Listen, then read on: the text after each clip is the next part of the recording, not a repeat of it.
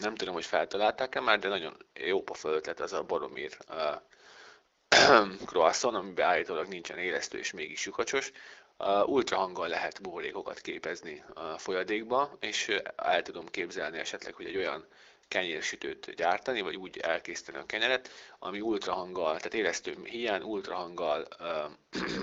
képez buborékokat a tésztába, és aztán így süti meg a tésztát és nagyon egészséges lenne, mert nagyon sok élesztő fogyasztásnak emlékszem, hogy onnan jött vissza az, hogy, hogy fájt a gyomrom mindentől, meg az éjségérzet, hogy kaparta a gyomromat az éjségérzet, pedig ugye hát csak annyi, hogy ürességérzet volt benne, az az élesztő baktériumok által létrehozott állapot, és plusz, hogy ugye többet fingottam és többet ment alsam, tehát az egy rossz állapot, úgyhogy az élesztőket általában szerintem kerülni kell, nem az összes nyilván ott is van kivétel, de a lényeg az, hogy ha lehetne élesztőmentes kenyeret, felfut kenyeret, és sütőpormentes kenyeret, és bikarbonamentes kenyeret gyártani, csak pusztán,